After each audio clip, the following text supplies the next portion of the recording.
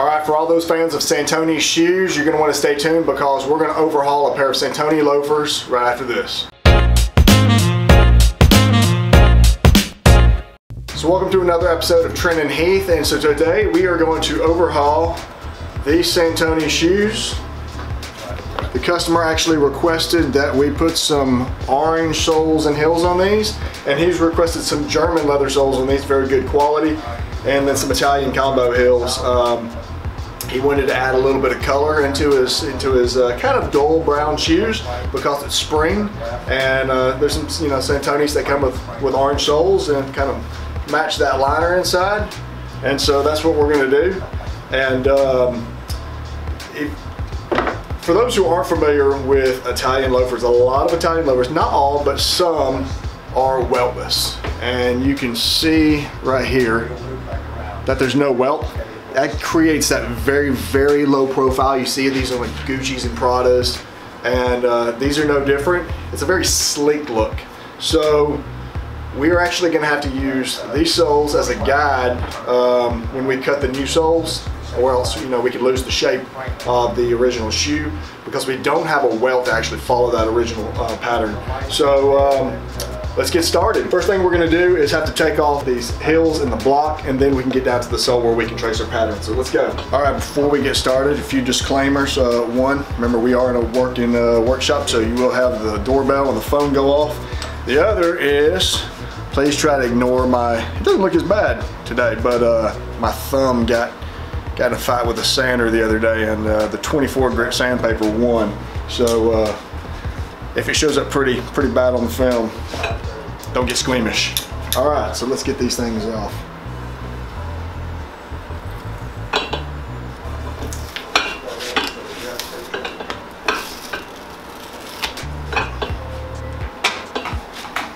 And right off the bat, when I remove that top lift, we can see that these are leather and uh, that's a sign of good quality. Some heel blocks are just made out of like pressed paper. It almost reminds me of like a really, uh, a cardboard onion type stuff. It's just very, very, very thin sheets and uh, they peel. They're not the highest quality. Some are made out of like a pulp leather and some are, you know, some are made out of wood. But uh, these are leather, very good.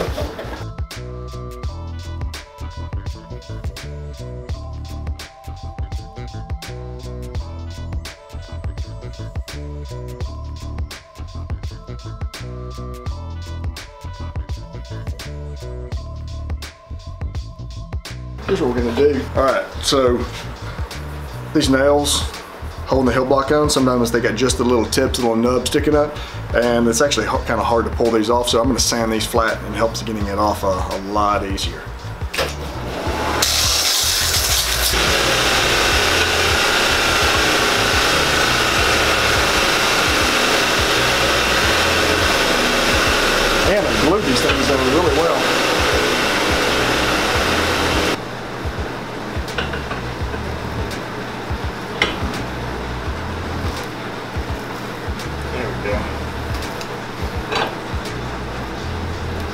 A lot of times the, this heel puller will just pop them right off, but not so much when they glue them on. So it's not necessary, but what I like to do is label the heel block that goes with each shoe. So right shoe and right little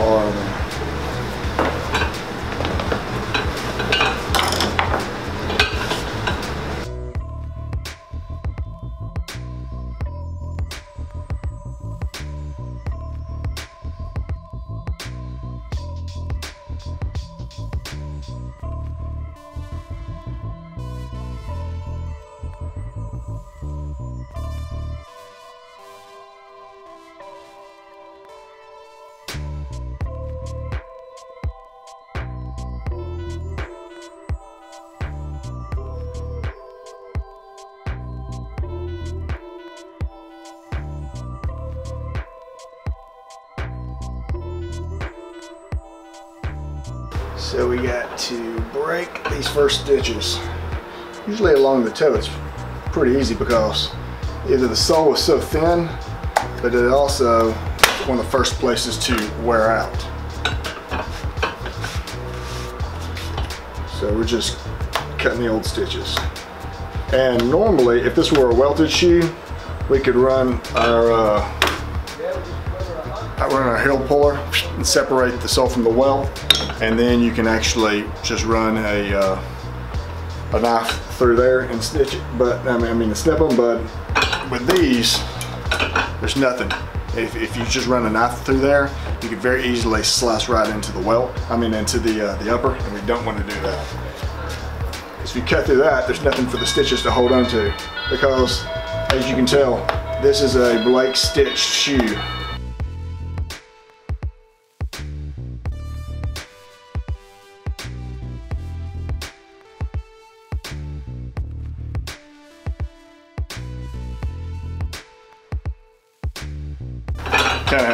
Back and forth on these things because you're also fighting the glue at the same time as you're fighting the stitches.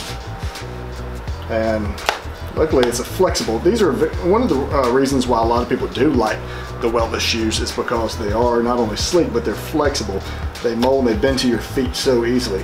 Um, unlike a Goodyear welted that's got a little bit more rigid, robust uh, structure to it and it takes a little bit longer to break in these break in very easily and very quickly.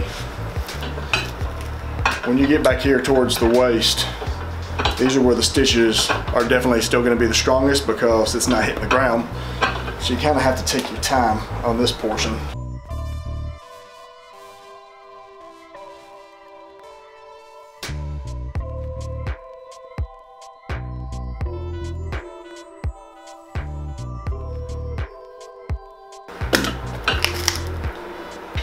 There we go. So we've cleared the stitches.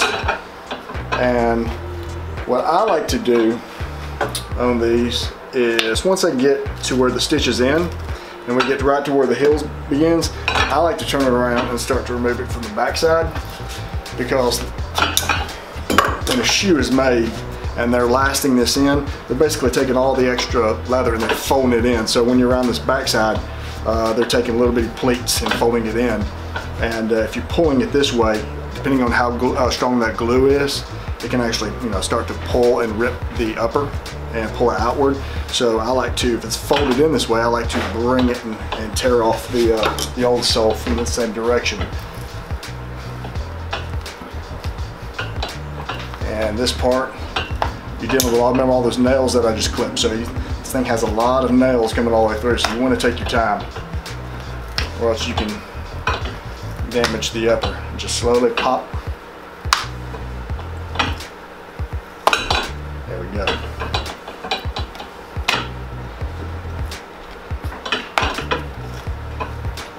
And then just like that, kind of pull off and we're free. But see, this is what I was talking about. This is where it's, uh, it's folded in. These are held on by little tacks. Um, and it's very easily just to, you can see, you can pull this up. If you pull it and you're pulling it out, you can actually damage the upper. So that's the only reason I do that. Now some of these little tacks are uh, holding the upper um, down onto the insole and some of them are um, just tiny little snippets that, I mean, it takes forever to dig these things out.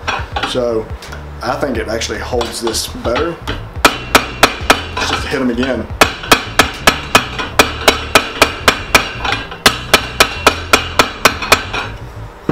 Use the little bit, the remainder of those old tacks just to hold this and see. Now I can, it's not even gonna come off. So nice and smooth. But what we do have now are all these old threads. But I'm gonna go ahead and take the other sole off and then we'll come back. All right, so we've got the old soles off, got all the old threads out. It's pretty clean now. Um, this shank is actually built into the insole, so it's not actually a, a, separate shank that can just, you know, you can glue in. It's actually built into it and layered in between. So this is really good about this one. You don't have to worry about the shank. Um, these are the German soles and heels that we're going to put on them. And normally we would discard the old soles at this point, but not here. We need these things right here to keep, uh, basically to use as a pattern for our new soles. So let's cut the new ones. All right, so I cheated to speed things up. I went ahead and put my first layer on a while back and just let that first coat glue because one of the things I notice about um, a lot of the German leather, whether it's the Martin Brothers or the um, uh, JRs, is they soak in. They're, they're, they're already roughed up. Um, some we actually have to rough up. These are seem to already have a coarseness on the inside or the other side, and um, when you put that first coat of glue on, it soaks it in like a sponge um, and dries pretty quick. So I went ahead and did that. So when I put my second layer on, it will actually feel like as if we put a, um, uh, a first coat on some of the smoother leather. So match these up here.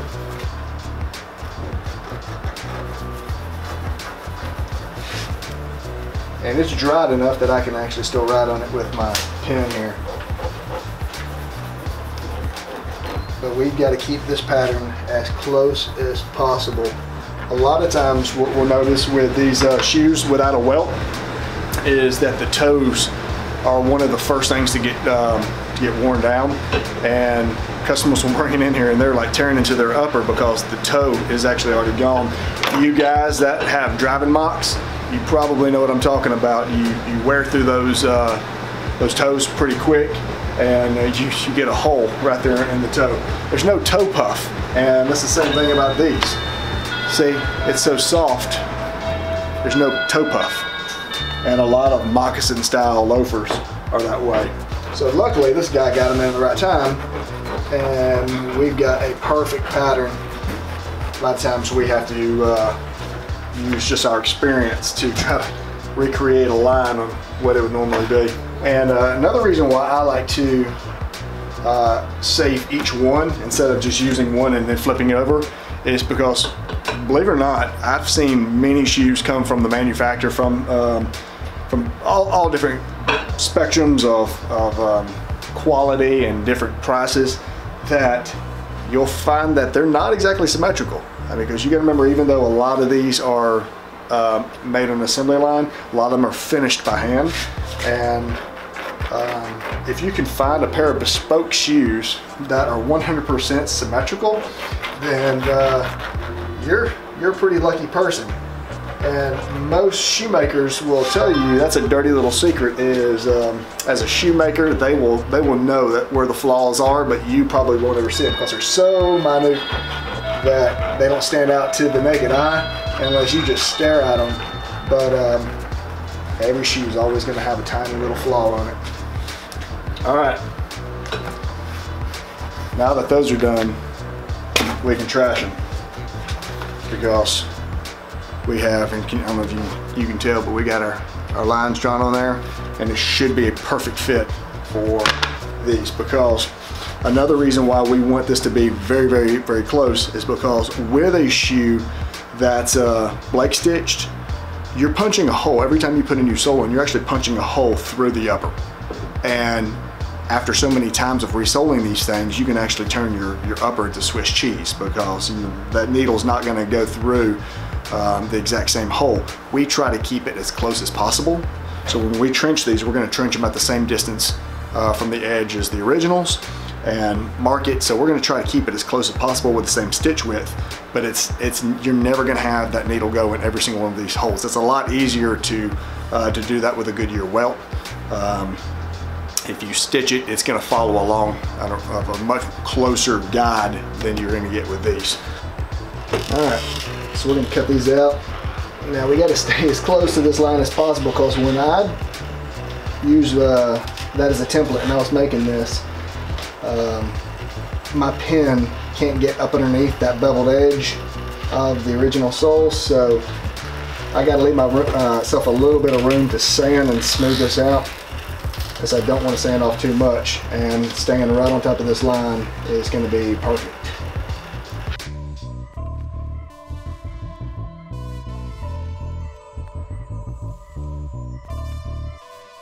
You can tell this is a fresh blade on here. This is pretty tough stuff.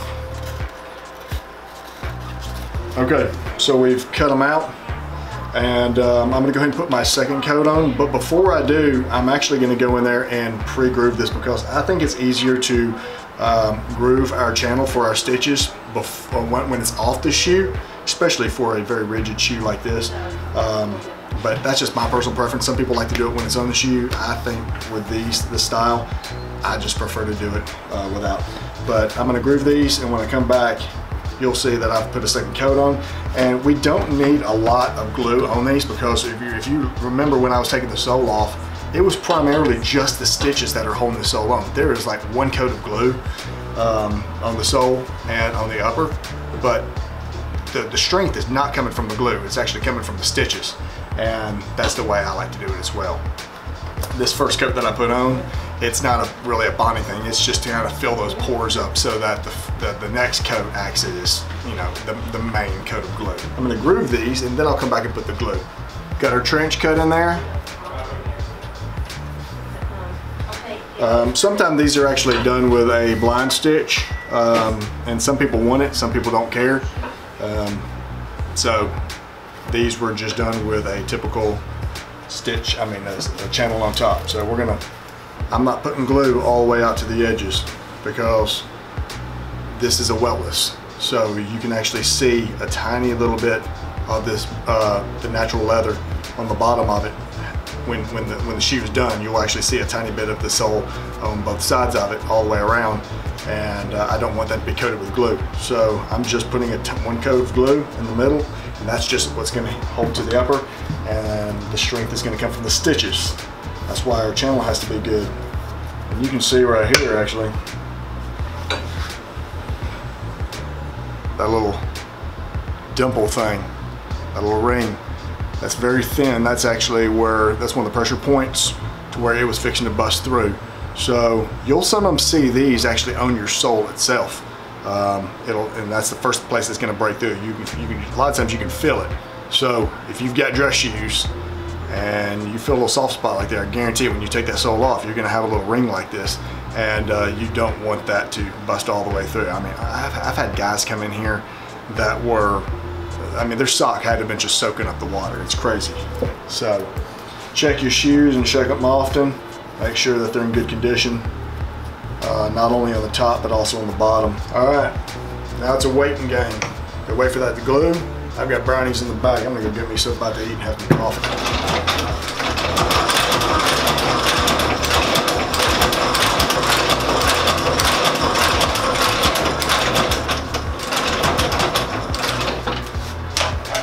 Okay, so uh, we've got the soles stitched on and um, with these I like to go ahead and attach these. It, it, completely depends upon the type of shoe. Sometimes you can't do it like an Allen Edmonds.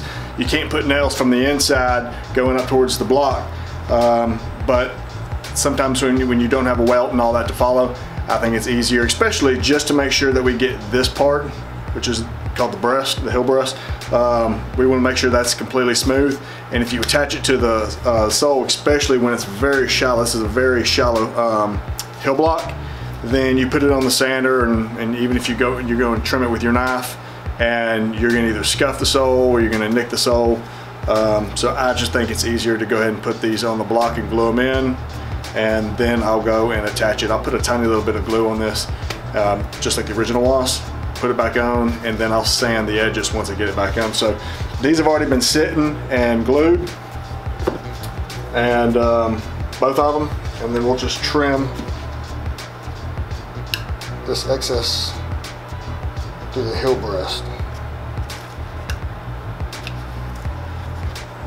There you go. And then I'll actually put it on a very fine sander.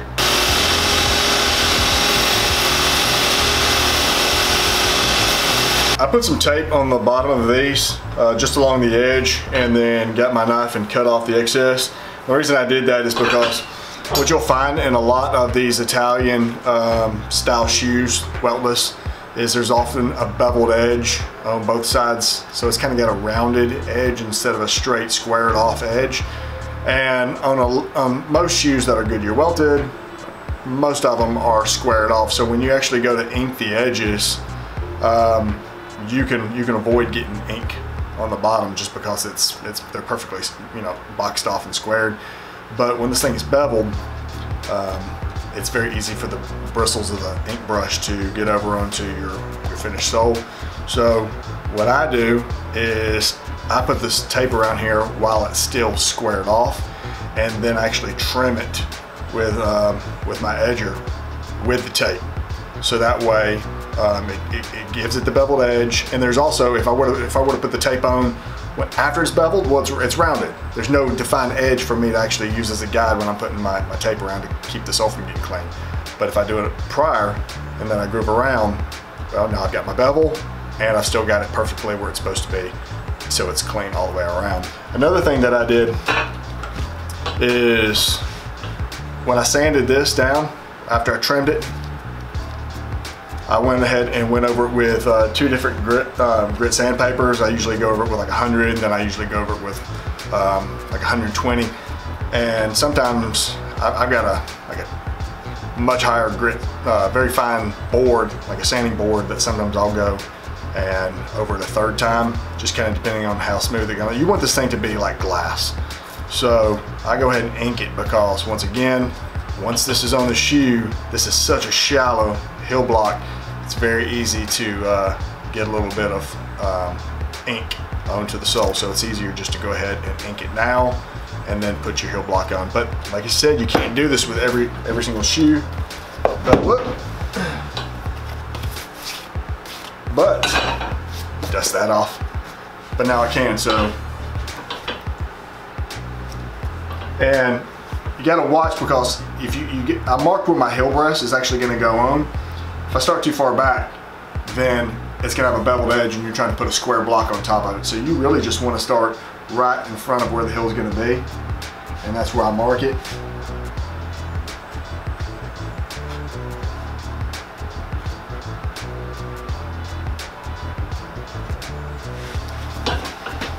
It's very hard, hard leather. So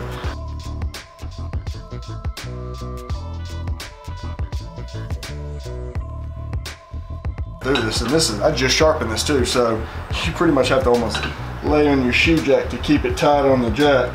So right here so to pull the tapes I'm actually gonna all right so uh, while I was filming that last part I actually looked up and saw that my my uh, card was full on my camera and I had to go back down. I don't even know where I left off. So um, what I wound up doing is trimming all around the, uh, both of the shoes and um, we're ready to put our heel blocks on. So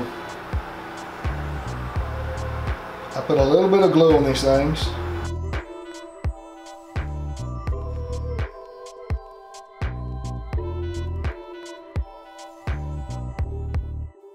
And when you trim off your original sole.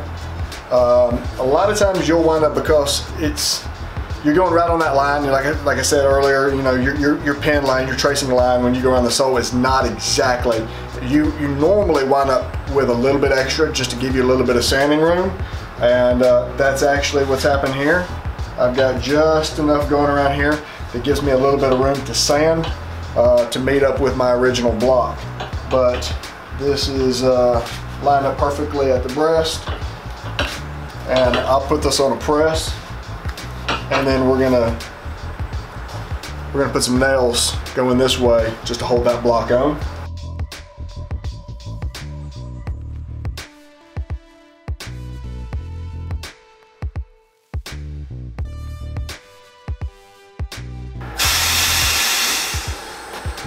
Compressor may go off, so it could be a little bit loud. Just want to give it a second to seat those things.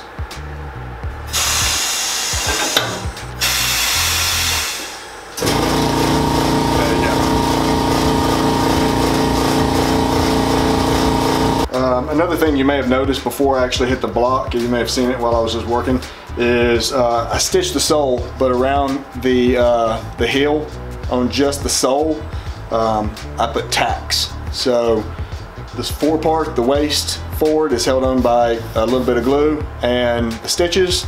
The back around the seat is held on by that little bit of glue and some tacks. But um, now we're gonna put some nails that go all the way from the inside into the block.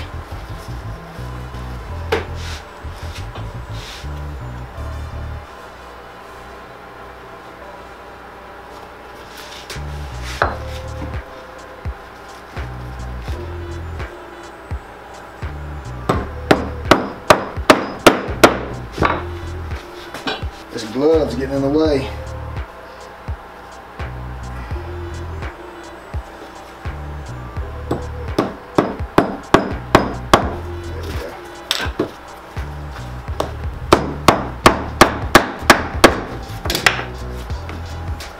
You don't want them to go all the way to where you're gonna see them, um, that the head's poking through here with the tip. You just want to hold on the block.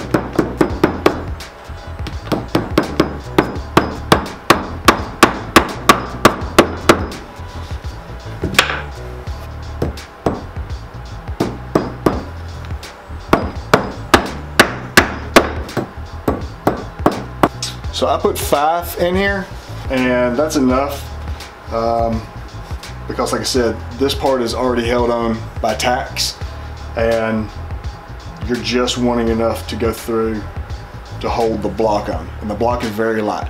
And if you get just the right nail it's gonna sink it to where it's it's the, the tips are just barely gonna want to poke uh, through the block and because remember when I actually took these off and I actually had to sand off that tiny little bit that's what you want you want just a little bit poking through the block but not poking through the top lift. It just does not look good.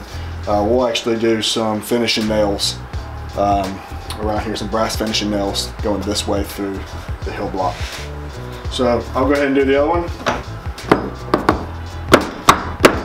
So I don't know if you've ever seen it in other shoemaking videos, they've actually got these little hammers that has a little magnet on the end um, I just haven't ever been able to find one, so if anybody out there actually knows where you can get those, uh, let me know, because I would love to have those, and that way I don't have to actually get my finger in there.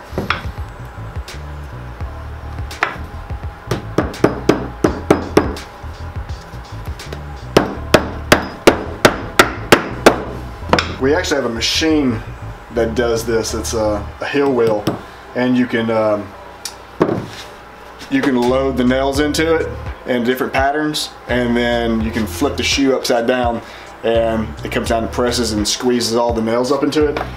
I use it quite often. The reason why I don't like it is because the shoe is upside down and it's very hard to place the, the, the nail exactly where you need it. Um, this way, the old fashioned way, you can actually see um, where you put it.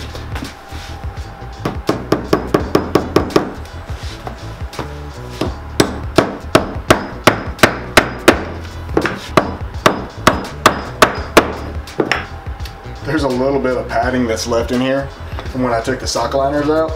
And I'm actually trying to use that little bit of padding to hold these things steady while I get the first one in there. In fact, I'm gonna put another one in here because one of them I wasn't happy with. At the very end, it crimped up from it.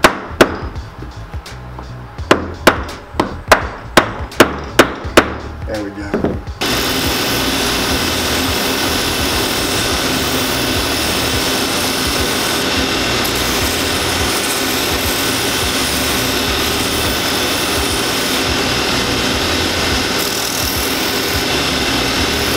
Now the Santonis that came in actually had some nails going all the way up. Um, he wanted orange ones and a lot of the Santonis that had the orange soles have five, three, and two. Now they also don't have the dovetails, but he wanted the dovetails. So basically draw that around. It's just that little part. That's what they normally come with. But he wanted the dovetails.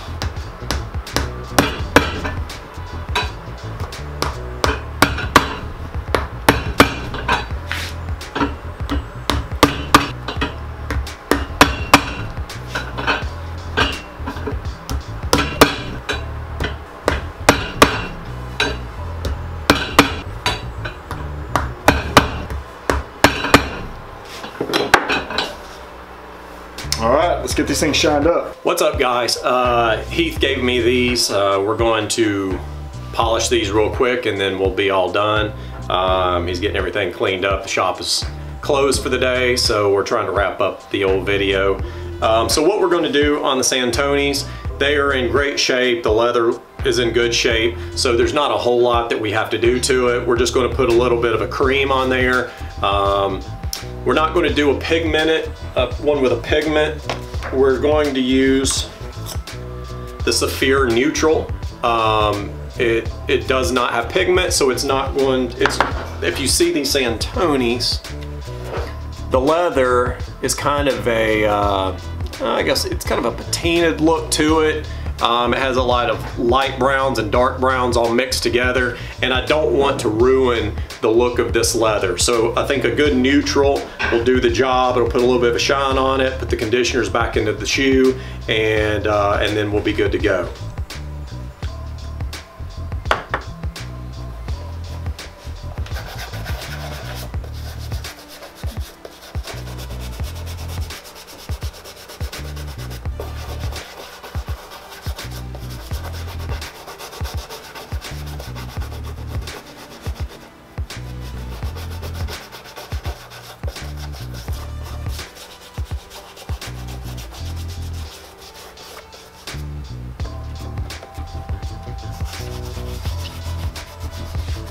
All right, y'all, we've wrapped this up. We've done this pair of Santonis. And uh, went over them with some Saphir Medal d'Or, and that stuff is incredible. I think he's gonna be pretty happy with these.